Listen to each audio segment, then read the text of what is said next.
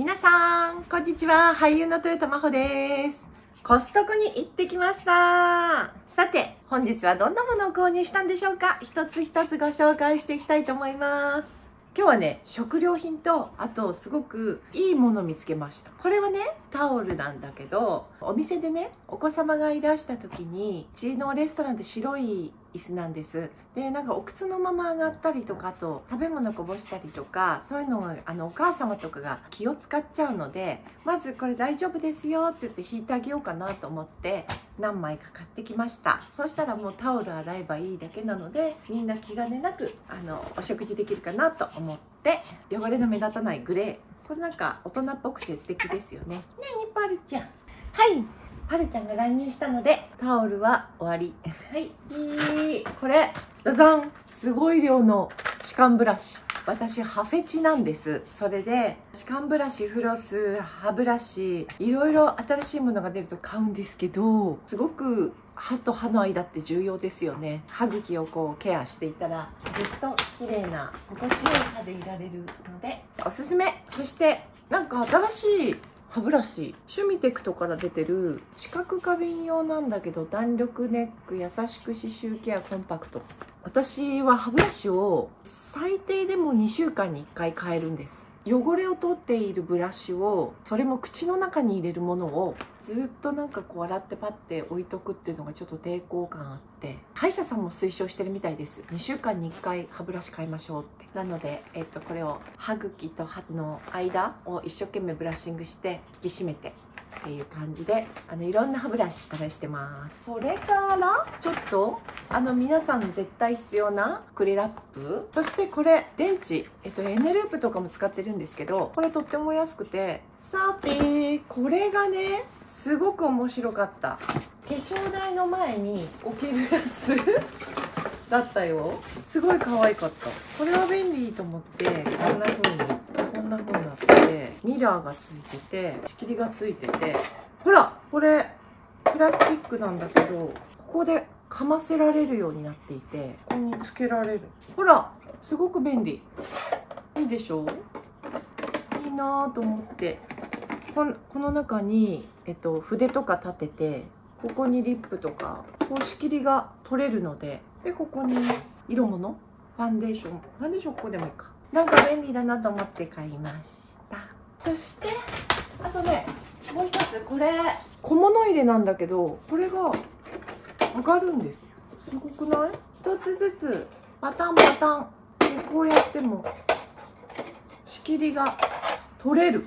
すごくないですか？これ。私あの意外とペンが多いんですよ。ペンハサミとかマスキングテープとか セロテープホッチキスそういうものが散乱しがち。置いてあるんだけどもそれじゃ足らないっていう感じなんで。なのでいろんな仕切りで使えるから便利だなと思って。これ例えばさっきのあの化粧系のでも使えるしキッチンの端に何か調味料の何かで置いといてもいいですよね。なんかもっと考えたらいろいろアイデア出てきそう。と思って購入しました。普段あんまり使わないけどこの中に入れといてなんか上にティッシュの箱とか置いといたら場所を得する感じ。はいコストコの今回のお花です。今回はガーベラかわいい。これね1000円いかなかったんです。この量で。こんなにあって998円って書いてある。そうすごい可愛いよねガーベラって。私ねお花のお仕事っていうか花を無駄にしないっていうファンフラワーっていうのにも参加していてそう花をとても大事にしたいと思っているタイプなんです。でも生活にお花ってあると彩りだなと思ってすごく心が豊かになるので花は絶やしたくないなと思っています。これねそっとそっとこう取るとほわっと開くのでそして渋いぞ。どんこ。これは万能です。これだしでも食べても美味しいしよくねスープのだしもちろん皆さんもそうだと思いますけどお鍋にお水を入れて鈍行を浸して冷蔵庫にそのまま入れて一晩寝かしてで朝になると美味しいだしがふわっと出てるからそれをベースにお味噌汁とかスープとか作ったりします。これはもうほんといい仕事します。そしてまたしいたけか。しいたけ好きか。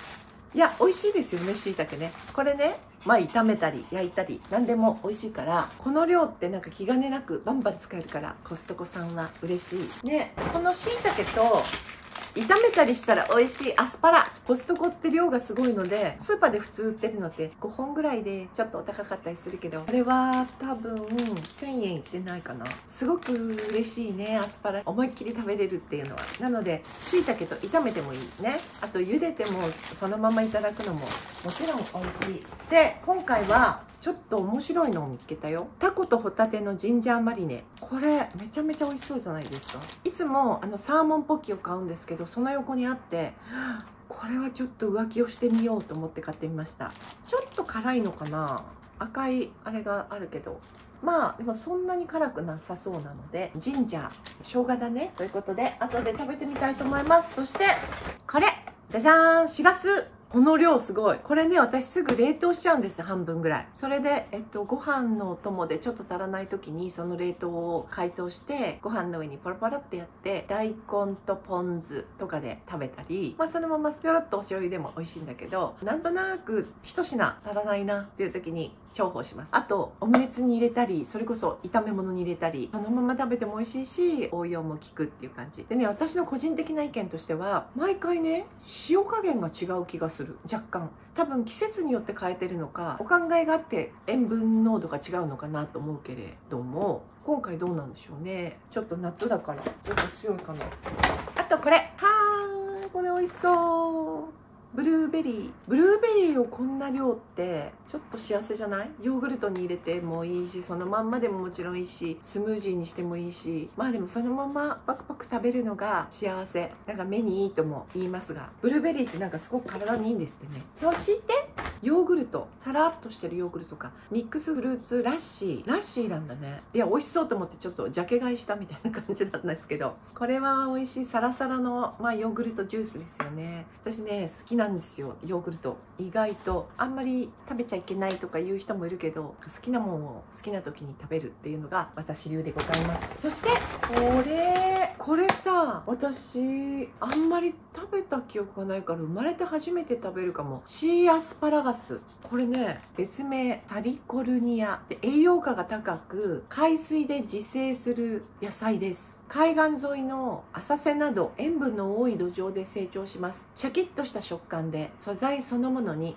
塩味があるので生のままでも召し上がれます。タンパク質が多く含まれビタミン A カルシウム鉄分などの栄養素が豊富です。生のままサラダでまた蒸したり炒めたり様々な料理にお使いいただけます。シーアスパラガス自体に塩味があるため調味料の量は控えめに使用をおすすめします。これは楽しみ。美味しそう。でもこのなんかこの写真みたいなお魚と混ぜてんのかな？マグロ？マグロと混ぜてこういう食感もいいかも。柔らかいのと多分これパリッとしてるから食感の違いを楽しむみたいなお料理はちょっといいかもしれませんねちょっと味見してみたいと思います。アスパラは茹でてシーアスパラ？そのまま入れましたけど。うん！すごい塩味です。すごい塩味がある。うーん。これはなんか何もかけないでいい感じ。